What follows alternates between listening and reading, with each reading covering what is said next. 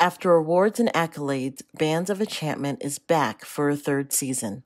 And creator Ken Peterson is with us tonight to discuss the success of season two and what we can expect from the upcoming season. Thanks, Ken, for being here tonight. Great to have you on the show again for another season of Bands of Enchantment. So thank you for coming out. Thank you for having me back. It's yep, wonderful yep. to be on the show again. Yes. Yep. So before we start with season three, let's take a step back to season two and the premiere. How how did everything go with the premiere? What what's it been like? Well, after our red carpet premiere at the KiMo, which was amazing and fantastic and so much fun, uh, the show went on to kick off on New Mexico PBS statewide and then from there, it went nationwide. So it's still going. And it is aired in New York City, in Los Angeles, uh, Denver, Baltimore, Chicago. It's, it's still going. And then it streams on PBS. And then it also streams on All Arts. And then we just got picked up by Amazon Prime. So yes. it's all available. That is amazing. So, so um, I, this show has been getting noticed. Season one won a Chicago mid, uh, sorry, was nominated for a Chicago Midwest Emmy, and season two won a Telly. So, so I mean, what's it? How's it feel to be recognized for your work?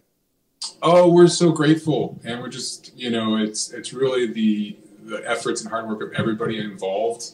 Uh, and uh, yeah, we're we're uh, ramping up to win that Emmy next time. For which we submitted for season two, and yeah, we're honored that uh, the Telly Awards uh, gifted us, uh, you know, and honored us with an award for season two.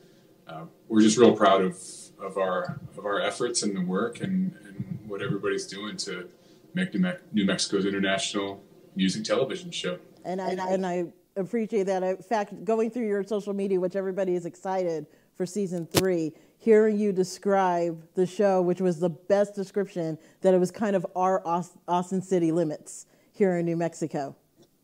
Yeah, it's kind of the quick elevator pitch. Yeah. I mean, because you get it right away. We shoot it a little differently. It's a little more cinematic, and uh, we kind of, as you know, shoot at our main stage, and then we drone around to other places in Albuquerque because it's really a postcard of Albuquerque and New Mexico to the world, and you know, championing amazing music from around the world and New Mexican artists. Because every season we feature five New Mexican bands, and it and is it, a beautiful show. So let's talk season three. Who are we expecting this time around? Well, I'm going to go fast and furious, but you can go to bandsofenchantment.com. Also, AMP Concerts has partnered with us to help us with marketing and, and some of our efforts uh, at the venue.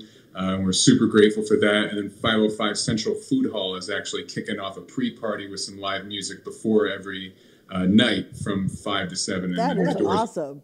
8 o'clock. And we are at the KiMo for season three, September 15th through the 25th.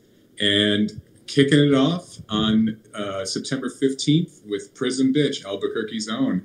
Uh, it's going to be awesome. Please, please come. Bring everybody. We're just going to kick it off right with, you know, with Prism Bitch, rocking it out. Uh, night two, we have Black Joe Lewis from Austin, Texas.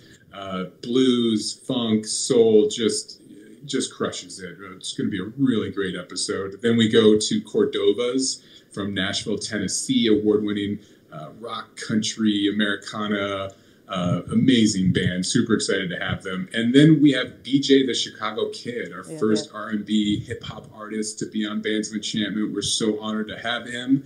Uh, he's collaborated with Dre, Kendrick Lamar, um, Chance the Rapper. List goes on. We're we're super excited to have him on. And then from uh, Vancouver, Canada, we have Moontricks which we're thrilled to have. It's such a new sound that I've never really heard before. It's bluegrass meets electronica, uh, so electronic. Uh, so it's going to be it's going to be a good one. Uh, then uh, night six from Mexico City, we have Girl Ultra. Latin, hip hop, jazz, beats. It's it's going to be a real good one. So please come to that one as well. And then night seven is Paco Versailles, one half of capital cities, and then also uh, Vangani, a, a, flamenco guitar player, and they do it's called flamenco plus disco, uh, creating a new genre called dance menko. Uh, it's we're really wow. excited for that one. And uh, yeah, bring your dancing, dance and shoes for that one. Night eight is a New Mexican artist. That's the two two bands, two band episode, and that is Ailani from uh, Santa Clara Pueblo, an incredible artist, um, young up and comer. Super excited to have her on the show. And then we end that evening with the, the Kipsies, Albuquerque's own Americana kaleidoscope of sounds. They're wonderful. Uh, night nine is also New Mexican bands. We have the incredible sounds of Byland coming on, which is Ali Renee and uh, her transcendental sounds. It's going to be beautiful. And then we end the evening with just pure fire and energy uh, with Albuquerque's own Slums of Harvard. And then closing night is San Francisco rock legends, the Stone Foxes. They've been featured on Sons of Anarchy. Uh, their music has been in Free Solo. It's uh, they've played at South by Southwest. They performed with ZZ Top, the Black Keys, Cage the Elephant. They're an incredible rock band, so we're thrilled to have them. And that's our lineup for season three. It's I I, I say come to all of them. If you've never heard of them, I, I, encourage you to come to the ones you've never even heard of because it's like going to your friend's record shop and you're going to be like, oh, I, oh, I've never heard of this this band. I, this is awesome. I, uh, but uh, yeah, it's our way of breaking up the algorithms. Come and and, uh, and get some new music and have a blast while you're doing it. That so. is quite the lineup and just the variety that you're providing. And I encourage everyone, red carpet, it, the tickets affordable. This is something that you do not want to miss out on. So I would guarantee, yeah, definitely take part in it. So I know you're all over, um, and it's great to hear that you've been picked up by so many platforms. Where can people see all the episodes that have happened so far? Yeah, so uh, season one and I think season two soon is on Tubi, PBS, Roku. Um, and then season two is on Amazon Prime. It's on soon to be Tubi. It's on uh, PBS, um, and it's still broadcasting across PBS too.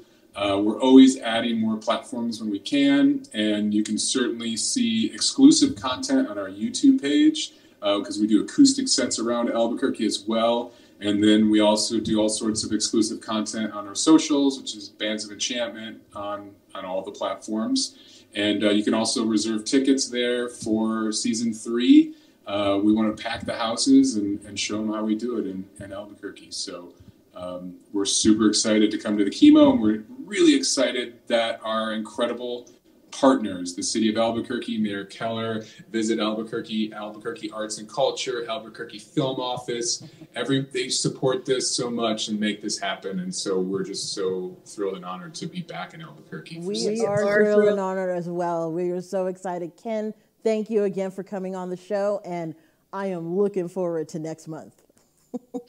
Us too, and I can't wait to see you at uh, at Prism Bitch. We'll be back. thank you